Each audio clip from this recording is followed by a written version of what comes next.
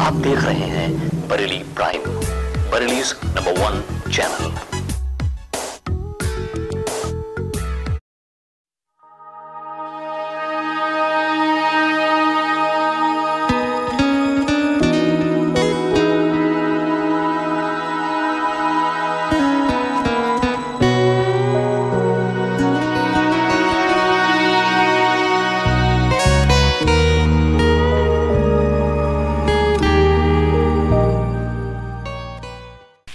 नमस्कार दोस्तों, आपकी बात कार्यक्रम में आपका स्वागत है और आपकी बात कार्यक्रम में हम मिलवाते हैं आपको शहर के उन प्रतिष्ठित लोगों से जिन्होंने अपने शहर को नाम देने में, उसे एक शक्ल देने में, उसे आगे बढ़ाने में अपना योगदान दिया है।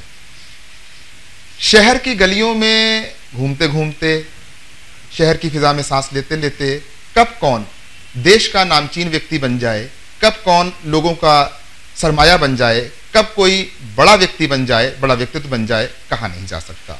आप इस शहर की भीड़ में से किसी को भी उस वक्त नहीं पहचान सकते। ऐसा ही एक शख्स जो शहर में अपने स्टूडियो में बैठा हुआ, अपनी पेंसिल से, अपनी कूचियों से, अपने रंगों से तस्वीरों को बना रहा था, पन्नों को सराबोर कर रहा था, अचानक से उसका वो काम भारत के राष्ट्रपति भवन में पहुँच जाए, ये एक काबिल तारीफ़ बात है और मौजूद बात है।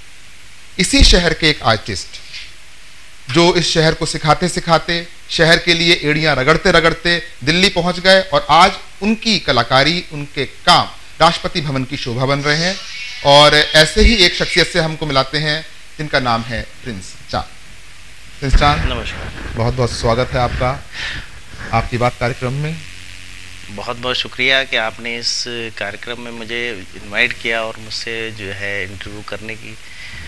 कहा मुझसे, और मैं बरेली शहर मेरे लिए, शायद मेरे सपनों का और मेरी जड़ जो है वो बरेली शहर ही है, जिससे मैं यहाँ से उपजा हूँ, और आज मैं वैसे तो दिल्ली में हूँ, लेकिन मैं अपनी जड़ को शायद कभी ना भूल सकता हूँ और ना ही मैं कभी भूला।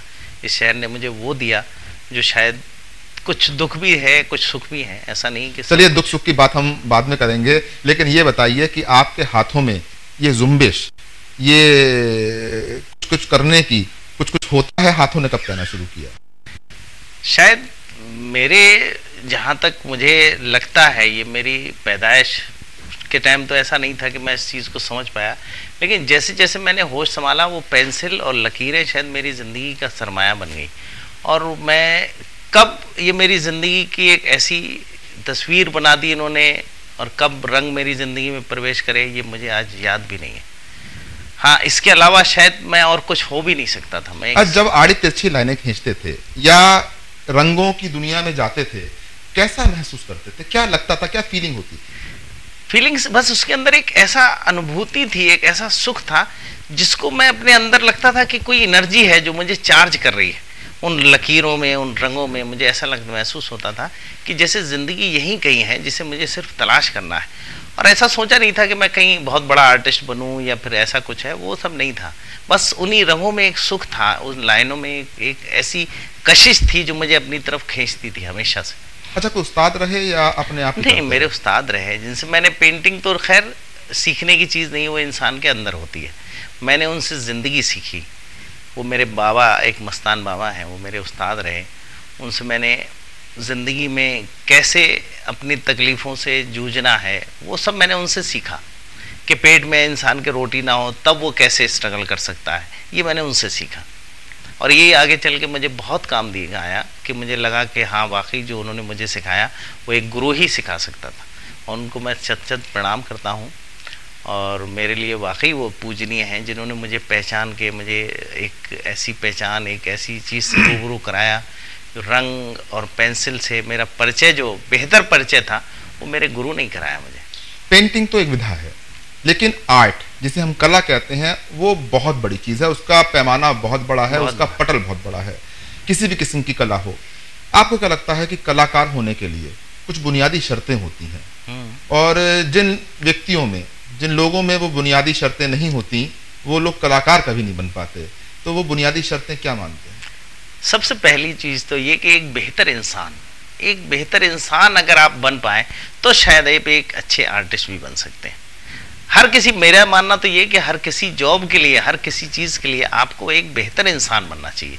आर्टिस्ट की सोच, आर्टिस्ट का मन इतना निश्चल होना चाहिए जैसे पानी होता है, जिसके अपनी कोई सब कुछ बहुत बड़ी ताकत होने के बावजूद वो ट्रांसपेरेंट होता है। उसको कुछ भी नहीं है, अपने ऊपर कोई घमंड या कोई गुरूर या ये सब चीज़ें नहीं होती हैं। वो एक कला एक समंदर जैसा है तो उसमें जाके जब नदी मिल जाती है तो उसका वजूद ख़त्म हो जाता है। ऐसे आर्टिस्ट का भी होना चाहिए। आर्टिस्ट का अपना वजूद कुछ नहीं है। जो कुछ है वो कला का है। और अपने आप को जब समर्पित कर देता है वो कला के लिए तब उसके अंदर एक आर्ट जन्म लेती है। दिल्ली जाने के बाद और दिल्ली की गैलरीज में घूम लेने के बाद यही बात आप कह रहे हैं? हाँ मैं हमेशा यही बात कहूँगा। क्योंकि मेरा कोई ये वो नहीं है व्यवसाय या कोई मेरा आपका नहीं है मैंने तो कलाकार के लिए मैंने आप कलाकार की बात नहीं करी मैंने तो कहा कलाकार कलाकार किन चीज़ों की जो व्यक्ति अपनी कला को अपनी सादगी से अपनी सलाहियत से संवारता है वही जब आर्ट गैलरीज में कुछ लोगों की पेंटिंग लग रही होती है तो उन्हें तमाम राजनीतियों से उन्हें तरवा के अपनी लगवाता है। हाँ। तो वहाँ पर तो वो इस इंसान का चेहरा उतना अच्छा नहीं होता उसकी बात मैंने यही बताया कि बेहतर इंसान बनना चाहिए। पॉलिटिक्स आज आर्ट के अंदर शामिल होती है तो किसी भी चीज़ के अंदर जब पॉलिटिक्स शामिल होती है तो उसके चेहरे तब्दील हो जाते हैं। अच्छा किस किस विधा पे काम किया आपने? कौन कौन से टेक्सचर्स आपने अपनाया टेक्सचर्स मैंने स्केचिंग में काम किया वाटर कलर में काम किया ऑयल में काम किया एक्रेलिक में काम किया। आजकल फ़िलहाल मैं एक सिर्फ़ ऑयल में काम करता हूँ। अच्छा, मज़ा किसमें? वो तो सुख तो सब में है ऐसा कुछ मज़ा नहीं किसमें नहीं नहीं ऐसा कुछ नहीं। मैं किसी एक की तरफ़ उंगली उठा के नहीं कह सकता कि इसमें सुख मिला। हर चीज़ में सुख है बस पाने वाला और लेने वाला चाहिए। मैं उसको खेलता हूँ वो मेरी ज़िंदगी है। मैं कोई इबादत नहीं करता मेरे लिए इबादत जो है मेरी कला है और कुछ भी नहीं है।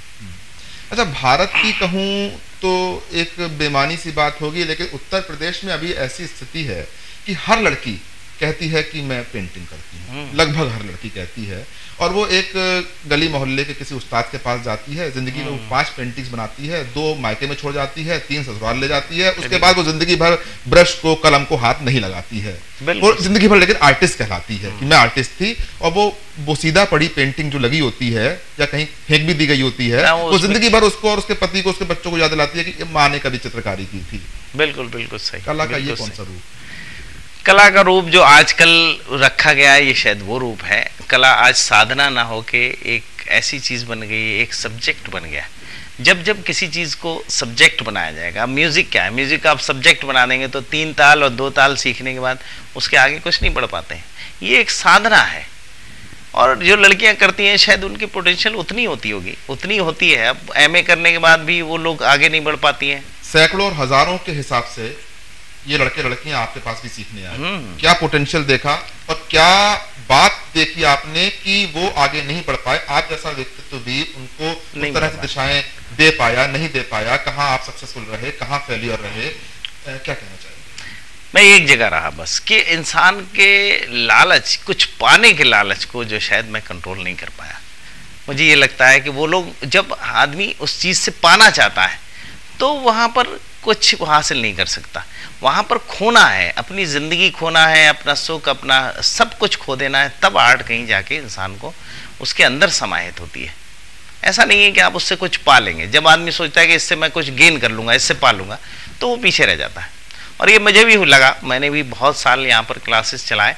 वो सैकड़ों लड़कियों में से स्टूडेंट्स में से एक, दो स्टूडेंट ऐसे निकलते थे जो मेरी उस साधना को, उस चीज़ को बहुत आगे तक लेके गए। उसमें एक प्रिया थी जिसकी डेथ हो गई, वो लड़की बहुत आगे उसने कोशिश की थी। अच्छा लड़कियाँ कच्चा पक्का काम भी करती होंगी, फिर आपसे कहती होंगी सर इसमें थोड़ा सा हाथ लगा दीजिए। आपने हाथ लगाया थोड़ा पेंटिंग को ठीक बना दिया पता लगा वो अपने घर ले गई और ये कहा कि साहब पेंटिंग मेरी है। ऐसा होता है नहीं होता? ऐसा है कि वो लोग करती हैं उनके अंदर जितना वज़न उठाने की ताकत होगी उतना ही वज़न उठाएगा। अब कोई बोरी बड़ी सी उठा रहा है वो आपसे मुझसे कहे कि हाथ लगा दीजिए तो मैं तो लेकिन अगर आप रोटी गोल बनाना जानते हैं और रोटी तो अच्छे से फुलाना चाहते हैं बिल्कुल सही एकदम सही तो आप वो काम कीजिए ना। कर सक नहीं नहीं ऐसा नहीं है।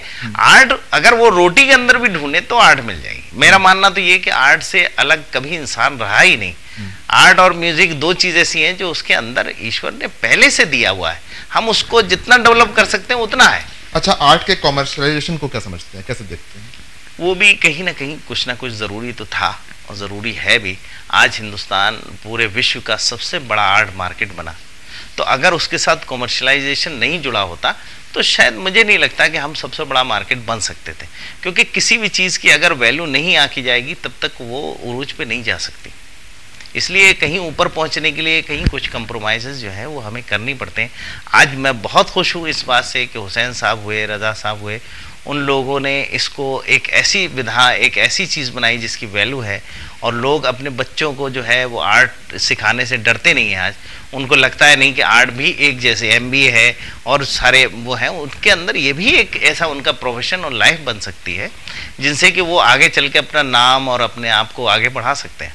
जब तक आप पेंटिंग सिखाते रहे, जब तक आप लोगों के अंदर आर्ट को पैदा करते रहे, उनकी तुलिकाओं को एक सही मायने में दिशा देते रहे तब तक तो ठीक था। लेकिन जब आपने शहर में अल, अलग तरह के रंग घोलने की कोशिश करी जब आपने शहर को कुछ देने की कोशिश करी जब आपने दृष्टि आर्ट गैलरी बनाने की कोशिश करी कि यहाँ के लोगों को समझ में आए तब आपको असली एड़ियाँ रगड़नी पड़ी। हैं? और कहीं ना कहीं तो आपके पलायन का कारण ही बना बरेली से। तो दृष्टि आर्ट गैलरी के बारे में आपके छाले क्या कहते हैं? आपने बिल्कुल ऐसा है जैसे कि किसी जख्म पे आके कोई डॉक्टर या कोई कोई भी उस पे उंगली रख के उसको बता दे कि ये जख्म है। आपने सच बात है, उसी छाले को, उसी जख्म को छुआ है। हकीकत बात यह है कि दृष्टि मेरी एक सपना थी। और आज भी सपना कभी कभी पूरे नहीं होते, लेकिन सपना आज भी है मौजूद। उसको मैंने यहाँ के लिए समर्पित किया था, इस शहर के, उन लोगों के लिए जो इस चीज़ के लिए तड़पे होंगे। मैं जानता हूँ कि मैं कितना तकलीफ़ में था कि जब मैं पेंटिंग बना लेता था तो एग्जिबिट करने के लिए एग्जीबिशन करने के लिए, लोगों को दिखाने के लिए कोई जगह नहीं, कोई प्लेटफॉर्म नहीं था। उसके बावजूद मैंने ये, मेरा जो, मुझे तकलीफ़ हुई, मैं नहीं चाहता था कि आगे आने वाले जो स्टूडेंट हैं या आर्ट आर्टिस्ट हैं या बाहर से कोई आए तो हमारे यहाँ दिल बरेली में देखने लायक कुछ हो तो वो आर्ट गैलरी मैंने उसके हिसाब से, उस सोच पे मैंने डेवलप की थी। और उसके बाद अब ये मेरी बदकिस्मती है कि वो नहीं चली या फिर बरेली वालों की है, ये मैं नहीं जानता। इसको मैं आज तक डिसाइड ही नहीं कर पाया। चलिए हो सकता है ये भी आपकी डेस्टिनी का एक पार्ट रहा हाँ, हो यहीं से आपका वो पैसेज खुल रहा हो जो आज आपको राष्ट्रपति भवन तक ले गया हाँ, है। बिल्कुल बिल्कुल। तो जब आपने यहाँ से पलायन किया और एक छोटे शहर से बड़े शहर तक गए और एक नदी जो है समंदर में जाके मिली तो नदी का जब समंदर में मिलना होता है उसको कैसे महसूस किया? शायद बेहतर है। मैंने स्ट्रगल इतना ज़्यादा यहाँ पर भी किया है और वहाँ भी करता हूँ और हमेशा करता रहूँगा। तो मेरे हिसाब से तो दोनों जगह मेरे लिए बराबर थी और वहाँ स्ट्रगल मुझे बरेली जितना नहीं करना पड़ा। मुझे आर्ट को समझाना नहीं पड़ा लोगों को कि आर्ट क्या है वाट द आर्ट पेंटिंग क्या होती है। यहाँ तो बड़े बड़े लोग मुझसे पूछते थे कि वाट द पेंटिंग पेंटिंग क्या है, इसको हम लगा के करेंगे क्या? वहाँ पर मुझे ये चीज़ समझानी नहीं पड़ती है और मेरे अंदर आग थी, आग को आप कहीं भी ले जाएँ, वो आग आग ही रहती है, उसकी शक्ल कभी तब्दील नहीं होती है। इसलिए मुझे कोई फ़र्क नहीं पड़ा दिल्ली हो बम्बई हो या कैलकाटा हो सभी जगह लेकिन आपने यहाँ से जाने के बाद अपना कोई नज़रिया या कोई स्टाइल तो चेंज किया ही होगा। हाँ मेरे रहन सहन का और मेरे उसका जो है वो स्टाइल चेंज हो गया। एक्चुअली वाइट कलर को वहाँ पर मैं मेंटेन नहीं कर सकता था। हम्म। जो वाइट कलर या शांति का और उसका प्रतीक था दिल्ली में शांति और वो सब कुछ नहीं है। हाँ, आपके आसपास का वातावरण भी आपका प्रभाव डालता है। नहीं आप यहाँ से जाने के बाद आपकी पेंटिंग्स में आपके काम करने के तरीके में क्या बदलाव आया? बहुत चेंज आया, बहुत चेंज आया। मेरी पेंटिंग्स भी आज मैच्योर हो गई हैं मेरी तरह। मेरी पेंटिंग्स भी लोग अपने वहाँ पर लगाते हैं और बहुत खुश भी होते हैं कि हाँ एक एक अच्छे जो है विधा को दिया। मैंने एक ऐसी टेक्निक डेवलप की है जिसको 10 साल लगे मुझे पेंटिंग को बनाने पेंटिंग की स्टाइल डेवलप करने में। और वो स्टाइल ऐसी है कि जिसके अंदर से आप अगर उसको ध्यान से देखें, उसको समझें तो उसके अंदर से आपको ऐसा लगेगा जैसे रोशनी जो है, वो अंदर से पेंटिंग के निकल रही है। वो एक्चुअली मेरी अंदर की रोशनी है, जो मेरी आत्मा जो अंदर से रोशन है ना। अब मैंने, ये राधा कृष्ण के ऊपर पूरी एक सीरीज़ बनाई तो उसमें वो रोशनी कहीं दिखी थी, मुझे झलक दिखाई दी उस रोशनी की। लेकिन अब जब मैंने बुद्ध के ऊपर काम किया, गौतम बुद्ध के ऊपर काम किया तो उस रोशनी से मेरा साक्षात्कार हुआ। मुझे लगा कि वो रोशनी मुझसे कुछ कह रही है। वो मेरी पेंटिंग के अंदर कहाँ से जो है वो आई मैं भी नहीं जानता। वो मेरी तपस्या की वो है या फिर मेरे ऊपर खुदा की कोई बहुत बड़ी मेहरबानी है जो मेरी पेंटिंग को उस रोशनी ने छुआ है। आप मेरी पेंटिंग देखेंगे तो आपको लगेगा कि हाँ वाकई वो रोशनी अंदर से दिखाई देती है। दोस्तों, तस्वीर को लगाने के लिए एक दीवार चाहिए। इनके पास खुला आकाश है, इनके पास बहुत बड़ी ज़मीन है, इनके पास सुरखरू रंगों की बारिशें हैं, इनके पास ये है, वो है, लेकिन दीवार नहीं है, दीवार पर कील नहीं है। और अभी तक इन्होंने अपनी तस्वीरों को, अपनी चीज़ों को, अपनी हुक पर टांगे रखा है, लेकिन तस्वीर लगाने के लिए एक दीवार चाहिए। किस तरह की दीवार ये तलाश कर रहे हैं, किस तरह की खूंटी ये तलाश कर रहे हैं किस तरह से इनका सफ़र राष्ट्रपति भवन तक हुआ और इनकी पेंटिंग्स वहाँ पर लगाई गई, ये सब जानेंगे। चाँद से एक छोटे से ब्रेक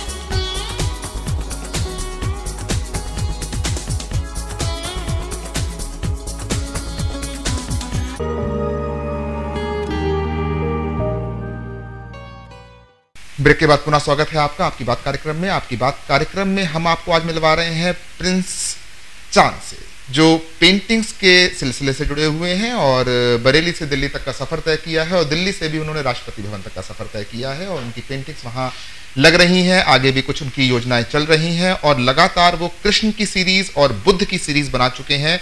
आखिर जिस रोशनी की बात कर रहे हैं, जिस आलोक की बात कर रहे हैं, जिस वो वलय की बात कर रहे हैं, आखिर वो और क्या है? हम उस और को जानते हैं, चाँद साहब से। तो जो और आपने महसूस किया, जो एक लाइटनिंग आपने महसूस की, वो आपके भीतर कब फूटना शुरू हुई, कब दिखना शुरू हुई, और कितना उस लाइट का इंतज़ार है आपको?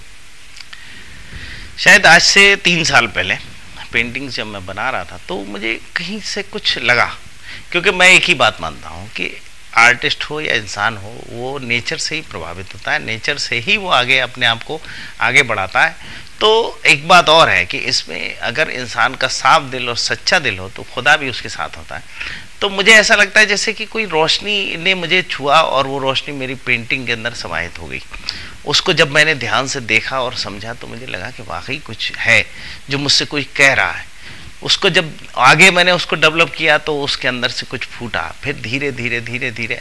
आज आपको शायद यकीन नहीं हो या किसी को भी यकीन नहीं होगा इस बात पे कि सारे लोग इस हैरत में हैं कि आखिर ये पेंटिंग के अंदर पॉसिबल नहीं था। मैंने कृष्ण की बांसुरी की लय जो है वो पेंटिंग के अंदर दिखा दी। रिदम बांसुरी उसकी दिखा दी। आज पता नहीं कैसे, मैंने शायद नहीं किया है। वो मेरे माध्यम से ईश्वर द्वारा, भगवान द्वारा करा हुआ एक कला वो है कि जो दुनिया को कुछ दिखाना चाहता है तो गौतम बुद्ध एक ऐसे करेक्टर हमारे उसके हैं, जो है हिंदुस्तान के, लेकिन माने पूरी दुनिया में जाते हैं। तो उनके अंदर एक एक ज्ञान की ज्योति जली थी। उस ज्ञान की ज्योति को टारगेट करके वो उस लाइट कैसे वहाँ से निकली है, ये गौतम बुद्ध का और ये भगवान का, ये खुदा का करिश्मा हो सकता है। शायद मेरा उसके अंदर रोल इतना है कि मैं उसका माध्यम हूँ। और मैं बनाने वाला, शायद उसको डेवलप करने वाला मैं नहीं दोस्तों आपकी बात मंच से हम आपको कई कलाकारों से मिलवा चुके हैं और एक कॉमन बात उसमें यह रही है कि इन सभी कलाकारों ने, चाहे पीछे सिकता दास रही हो या कुछ कोई और रहे हों, ये कहा है कि हम अपनी अभिव्यक्ति करते करते किसी ऐसे संसार में पहुँच जाते हैं जहाँ का हमें पता नहीं होता है और हम कुछ ऐसे काम कर बैठते हैं जिसका हमें उससे पूर्वभान नहीं होता। कई संगीतकार बजाते बजाते कोई ऐसा पीस बजा बैठते हैं जो जो पीस उन्होंने ना कहीं से सीखा होता है ना कभी बजाया होता है और वो पीस अद्भुत होता है। वो शुद्ध स्वर होते हैं वो सधे हुए स्वर होते हैं वो ईश्वर के चरणों में चढ़ाए हुए फूल होते हैं और शायद इसी उजास को इसी रोशनी को प्रिंस चाँद ने अपनी पेंटिंग्स में देखा अपने भीतर देखा और उसको वो लगातार डेवलप भी कर रहे हैं।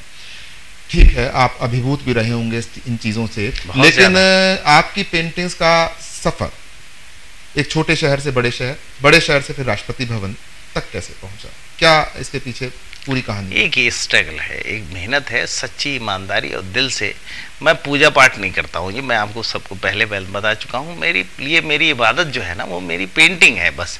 मैं इसके आगे ना कुछ सोचता हूँ, ना मैं सोचना चाहता हूँ। और ये सफ़र कैसे हुआ, मुझे उसके बारे में मैं भी नहीं जानता कि कब कहाँ। सिर्फ़ यही नहीं कि राष्ट्रपति भवन तक नहीं, आज मेरी पेंटिंग्स यूके में और सिंगापुर में एग्जीबिशन मेरी अभी एक ग्रुप शो हुआ है। अभी एक यूके में होने जा रहा है, एक यूएसए में होने जा रहा है। और लोग और भी मुझसे जो है वो पेंटिंग्स की डिमांड कर रहे हैं कि आप और पेंटिंग्स करिए। हम आपका यूके में सोलो शो जो है वो करना चाहते हैं। अभी मेरी ऑप्शन के लिए भी पेंटिंग जो है वो सिलेक्ट हुई है। तो ये सब अपने आप होता है। हकीकत बात ये कि आप अपना वर्क अपना काम ईमानदारी से करते चलिए। आप पूरे लगन और पूरी मेहनत से, बिना किसी चीज़ की प्राप्ति, जैसे गीता का उपदेश भी है कि आप जो है वो सिर्फ़ कर्म पे विश्वास रखिए, फल की इच्छा मत करिए। तो मैंने सिर्फ़ उसी को फॉलो किया कि मैंने सिर्फ़ काम किया अपना। मैं ये नहीं चाह रहा कि पेंटिंग राष्ट्रपति भवन में लगेगी, मैं भी नहीं जानता था। मैं ये नहीं जानता कि यूके में लगेगी या कहाँ लगेगी। मैं सिर्फ़ अपने काम को, अपनी इबादत समझ के सिर्फ़ करता रहता हूँ। अच्छा चाँद साहब, ये बताइए कि आपका काम करने का एक खास सिलसिला है, एक खास पैटर्न है। आपकी राधा कृष्ण की सीरीज़ हो जो लगभग हाँ। सौ से ऊपर आपने आंकड़े पार किए डेढ़ सौ पेंटिंग्स बुद्ध के ऊपर आप काम कर रहे हैं तो मुझे लगता है कि इसका भी लगभग इतने ही आप काम करेंगे। लेकिन बहुत सारी किस्म की पेंटिंग्स आज के बाज़ार में आज के दौर में चल रही हैं। एब्स्ट्रैक्ट्स हाँ। के बारे में अमूर्त पेंटिंग्स के बारे में जिन्हें मॉडर्न आर्ट कहा जाता है उनके बारे में क्या कहेंगे? देखिए एब्स्ट्रैक्ट है कंटेम्प्रेरी है इस टाइप की पेंटिंग्स आज मार्केट में बहुत ज़्यादा वो है ट्रेंड उसका ऐसा नहीं है। ये सबकी अपनी अपनी एक पहचान, एक अपनी अपनी विधा है। हर आर्टिस्ट एक ही तरह से पेंटिंग करेगा, एक ही रंग दिखाई देगा दुनिया में तो शायद रंग वो हो जाएगा।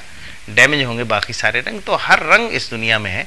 एब्स्ट्रैक्ट एक बहुत अच्छी आर्ट है, जिसको 40-50 साल जब आदमी रियलिस्टिक और मॉडर्न आर्ट और ये सब करने लगता है, जब रंगों को उसके ऊपर कमांड हो जाता है, रंगों के ऊपर उसको रंग जो वो कहना चाहता है उसकी आत्मा कहना चाहती है वो रंग कहने लगते हैं तब एक एब्स्ट्रैक्ट आर्ट बनती है। जब आप आर्ट कर रहे होते हैं तो सबसे पहले वो आपको सुख देती है। और उसके अंदर इतनी अभिव्यक्ति होती है जब फिर वो वहाँ से निकल के दूसरों को सुख देती है। ये ठीक है कि रंगों की समझ में आ गई ग्राफिक्स आपकी समझ में आ गए अमूर्तन आपकी समझ में आ गया। अपनी अमूर्तता में आप अपने कैनवास पे कुछ भी देख रहे हो आपके रंग आपसे कोई भी सिफारिश या गुजारिश कर रहे हो जो देख रहा है हम्म। उसकी समझ में कितना आ रहा है। हाँ ये अच्छा सवाल बहुत बेहतर और बड़ा अच्छा सवाल किया कि जो देख रहा मुझे काफ़ी लोग कहते हैं कि एब्स्ट्रैक्ट हो गई या कंटेम्प्रेरी हो गई, उन लोगों की समझ में नहीं आती है पेंटिंग वो सीधे सीधे रियलिस्टिक उनकी समझ में आती है। तो देखिए, इसके कुछ पार्ट्स हैं। इसके कुछ वो हैं, जो लोग को पसंद नहीं आते हैं। अब जैसे पक्का राग है, वो किसी को पसंद, बहुत कम ही लोग होंगे जो बड़े गुलाम अली को सुनना चाहेंगे। हर कोई जो सुनना चाहेगा, वो ये लाइट गज़ल, लाइट म्यूज़िक सुनना पसंद करता है। एक्चुअली हर चीज़ का एक स्टेटस एक अपना समझने की वो लेवल है। अब जो पेंटिंग्स वो लोग समझते हैं, जो बीए और एमए के स्टूडेंट हैं वही चीज़ पीएचडी और एमबीए और बड़े बड़े जो वो हैं मल्टीनेशनल लोग हैं, उन लोगों की सोच और उन लोगों की जो मानसिकता है, उसका फ़र्क जो है, इसी पेंटिंग्स के माध्यम से ही देखा जा सकता है। ऐसा नहीं है कि पेंटिंग आपसे कुछ नहीं कहती पेंटिंग तो बनी है, अगर कैनवस में बनी है तो आर्टिस्ट ने बनाई है। आर्टिस्ट एक्चुअली सिर्फ़ माध्यम है, बनाई किसी नेचर ने बनाई है उसको तो उसके अंदर कुछ ना कुछ तो है जो कुछ कहना चाहता है वो। अब कुछ लोग ऐसे होते हैं कि जो लोग आर्टिस्ट के आर्ट के बारे में नहीं जानते वो सिर्फ़ रंगों को देख लिया उन्होंने कि कोई आर्टिस्ट ने कर दिया खुद भी वैसे ही काम कर दिया तो वो अलग चीज़ है। अच्छा आर्ट को अभी तक लोग शौकिया किया करते थे। लेकिन कोई आईटी है कोई डॉक्टर है कोई इंजीनियर है कोई कुछ है कोई कुछ है और अपने घर में वो कभी कभी पेंटिंग्स बनाते हैं। आर्ट एज ए प्रोफेशन आज के दौर में संभव है है तो कैसे है? संभव अब डॉक्टरी के लिए मेरे हिसाब से एम बी ये एम बी बी एस करने के लिए फाइव ईयर चाहिए होते हैं। एम बी ए करने के लिए तीन साल चाहिए होते होंगे। लेकिन आर्टिस्ट बनने के लिए मेरे हिसाब से पचास साल चाहिए। पचास साल से नीचे का कोई सौदा नहीं है। इतनी लंबी रेस में अगर कोई दौड़ने की हिम्मत रखता है तो मेरे हिसाब से तभी उसको आर्ट फ़ील्ड को जो है वो चुनना चाहिए। लेकिन उसके बावजूद भी आज आर्ट एक ऐसा फैकल्टी एक आर्ट ऐसा माध्यम बना कि बच्चों को जो एक ज़माने में रोका जाता था, मुझे भी रोका गया था, ऐसा नहीं है। वो रोका जाता था, लेकिन आज लोग अपने अपने जो बच्चे हैं, उनके जो बॉयज़ हैं गर्ल्स हैं, उनको पेंटिंग से आगे बढ़ाना चाहते हैं। पेंटिंग्स के लिए रोकते नहीं हैं वो लोग। सबसे अच्छा काम शायद ये हुआ, इसमें कॉमर्शलाइज हुआ, इस वजह से हुआ, या आर्ट उन लोगों की समझ में आ गई, इस वजह से हुआ, ये मुझे मालूम नहीं है। लेकिन हाँ आज आर्ट से लोग जो हैं, डरते नहीं हैं। दूर नहीं भागते, आज आर्ट को अपने अंदर, अपने आप के आसपास महसूस करते बच्चे के लिए फ़ख्र की बात है माँ बाप के लिए कि हमारा बच्चा जो है, वो आर्ट थोड़ा सा जानता है। ये एक अच्छा हुआ है हिंदुस्तान के अंदर। बाहर तो हमेशा से ही है कि आर्ट फैकल्टी, आर्ट को लिए तुम सारे लोग जो हैं, वो आर्ट और म्यूज़िक से जुड़े होते हैं। बिना आर्ट के उन लोगों की लाइफ का एक दिन भी नहीं होता। यहाँ पर जो है वो एक्चुअली जल्दी से जल्दी चाहते हैं कि कुछ गेन करने लगे। पैसा चाहिए एमबीबीएस है इंजीनियरिंग है, ये है, वो है, सब काम कराएँगे। आर्ट के लिए वो जानते हैं कि अगर इसके अंदर गया तो या तो लौटेगा तो कुछ बन के लौटेगा, वरना बहुत गहरी खाई है एक ऐसी जिस, जो अनंत तक लेके जाती है, जिसका रिज़ल्ट मिलता है, ज़रूर, बहुत अच्छा मिलता है। मैं जानता हूँ मिलता है लेकिन वो तब मिलता है जब सब लोग नाउमीद हो जाते हैं। वो आर्टिस्ट भी वो भी नाउमीद हो जाता है कि शायद इससे कुछ नहीं होगा। जब कृष्ण को कर रहे थे आप सीरीज़ कर रहे थे तो दूर दूर भी जहन में नहीं होगा कि अगला टारगेट आपके बुद्ध होंगे। बिल्कुल बिल्कुल सही है ना? एकदम सही। कैसे बुद्ध टारगेट बने? क्या दिवा स्वप्न आया आपको कि किस चीज़ ने आपको उस अप्रोच तक पहुँचाया कि अब बुद्ध? पहली बात तो मैं राजेश जी को वाकई हिम्मत की बात है। राजेश जी ने वो वो सवाल पूछे हैं जो मेरे अंदर कहीं ना कहीं जो है वो अंदर ही अंदर मौजूद थे। और आर्ट के लिए इतना अच्छे सवाल और वो शायद मुझे नहीं लगता कि कोई दूसरा पूछ पाएगा आपके हिसाब से। कैसे बुद्ध आए? इसका एक थोड़ा सा सीक्वेंस है। बुद्ध का मतलब त्याग है। प्रेम त्याग के अगला स्टेप जो है वो त्याग होता है। तो ये मुझे लेके कौन चल रहा है मैं नहीं जानता हूँ। आई डोंट नो मुझे नहीं मालूम है कि कौन है जो गाइड करता है, कौन है जो मेरी सीरीज़ ऑफ़ जो मेरी पेंटिंग डिसाइड करता है कि इसके बाद ये होगी। फ़र्स्ट में पोर्ट्रेट्स मैंने किए, उसके बाद लैंडस्केप किया नेचर यानी व्यक्ति चित्र, फिर नेचर को समझा। नेचर को समझ के मैंने एक कल्चर को समझा, राजस्थानी कल्चर को मैंने पेंटिंग्स की। उसके बाद मैंने और थोड़ा सा अपने आप को और छुआ तो मैंने थोड़ा और सब्जेक्ट जो दुनिया भी थे, जो दुनिया प्रॉब्लम थी टेररिज्म पे मैंने एक काम किया। वो पेंटिंग्स थी, फिर उसके बाद स्कल्पचर किया, उसके बाद फिर जब मैं आया तो प्रेम को छुआ। पता नहीं कहाँ से छुआ, लेकिन हकीकत में राधा कृष्ण को छूना और प्रेम को छूना एक ही बात थी। अगला स्टेप क्या होगा? मैं भी डरता था, मुझे भी नहीं लगता था कि अगला स्टेप क्या होगा। लेकिन वो कुदरत नेचर पहले ही डिसाइड किए हुए थी कि प्रेम का बाद जो अगला स्टेप है, वो त्याग का है, वो अध्यात्म का है। वो कहाँ से आया? मैं आई डोंट नो मुझे नहीं मालूम उसके बारे में। सच बात। इसलिए मेरी इस वो है मेरे अंदर कोई कब कभी जैसे होता ना वो एक कोई चीज़ मिलने के बाद होती है। तो वो चीज़ मैं महसूस कर रहा हूँ। आपने बिल्कुल सही और सटीक सवाल जो है मुझसे पूछा। अच्छा बींग मुस्लिम आपका पालन पोषण हम्म। एक खास परिवेश हाँ, में होता है। बिल्कुल, बिल्कुल। और वही चीज़ें आपके फैमिली में आपकी एजुकेशन में आपकी तरतीबियत में आपकी बनावट में बुनियादों में चलती है। बिल्कुल। और उसके साथ कृष्ण और बुद्ध को समझना एक थोड़ा मुश्किल काम है। कलाकार के लिए मुश्किल काम नहीं है। मैं ये आ, हाँ, सवाल दर्शकों के लिए कर रहा हूँ। जहाँ हमारे यहाँ जातियाँ बट गई हैं जहाँ हमारे यहाँ धर्म बट गए हैं जहाँ हमारे यहाँ और चीज़ें बट गई हैं कलाकार कभी नहीं बटता। तो जब कलाकार नहीं बटता है तो वो क्या संदेश सोसाइटी को देता है? सच बात आपने अच्छे बिल्कुल सही टाइम पे सही वो पूछा है।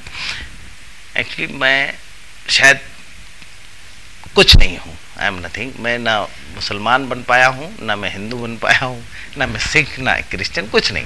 मैं एक इंसान बनने की प्रोसेस में ही हूँ। अभी मैं बन भी नहीं पाया। ये मैं कह दूँ कि मैं इंसान बन गया, ऐसा कुछ नहीं है। मैं पहले एक बेहतर इंसान की ज़िंदगी जीना चाहता हूँ कि एक इंसान हो जिसके अंदर जैसे किसी आप टेबल को साफ़ कर लें, उसके ऊपर कोई फूलदार रखें।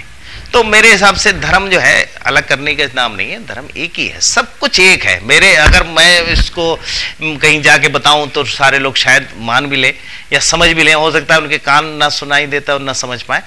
ये टेबल को साफ़ कर लो, फिर इसके ऊपर एक फूल रखो तो वो खूबसूरत लगेगा।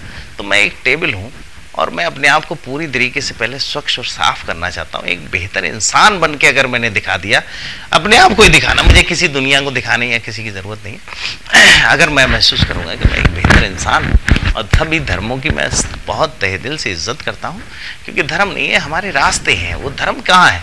वो तो सच और झूठ और वो है, वो तो रास्ते हैं हमारे, वो रास्ते की कहाँ दुश्मनी और रास्ते का क्या? चाँद साहब चलते चलते स्टूडेंट्स के लिए क्योंकि आप स्टूडेंट से बहुत जुड़े रहे हैं हाँ, बरेली में आपके बहुत सारे स्टूडेंट्स हैं और बरेली में भी हम बरेली में ही हम इस कार्यक्रम को प्रसारित करते हैं। क्या कहना चाहेंगे अपने स्टूडेंट से कि उनको किस दिशा में काम करना चाहिए? आर्ट की कोई दिशा नहीं होती दिशा भी नहीं होती कुछ वो नहीं होता। बस उसके साथ में एक काम करो अपने मन से जुड़ो। किसी हाथ से नहीं आँख से नहीं उसको सिर से दिमाग से नहीं दिल से नहीं अपनी आत्मा से जब तुम उस चीज़ को महसूस करोगे, अपनी आत्मा से उसको जोड़ो, तुम जब देखोगे कि आर्ट के अंदर तुम्हें वो सुख, वो सारा कुछ मिलेगा जिसकी इसकी तलाश लोग सदियों तक करते रहे, उन्हें नहीं मिली। आर्ट के अंदर वो सुख है। तुम सारे स्टूडेंट जो है, सिर्फ़ हाथ से पेंटिंग बनाते हैं। हाथ से पेंटिंग नहीं बनती। पेंटिंग का मतलब आत्मा से है, अंदर से। हाथ तो मर जाएँगे तो हाथ तो वैसे ही रह जाएँगे। वो चीज़ जो चली जाती है, वो आत्मा है। उससे पकड़ो उसे पेंटिंग को। तब जाके कहीं कुछ मेरे हिसाब से हो पाएगा। और बाकी सब लोगों के लिए मेरे लिए जो आर्ट स्टूडेंट हैं, वो मेरे आज भी यहाँ मौजूद हैं, ऐसा नहीं है। तो उनके लिए मैं काफ़ी शुभकामनाएँ हैं और मैं चाहता हूँ कि वो लोग आगे बढ़ें। रास्ता सब तरफ़ से खुला है, लेकिन बिल्कुल हल्के होकर आगे बढ़ें।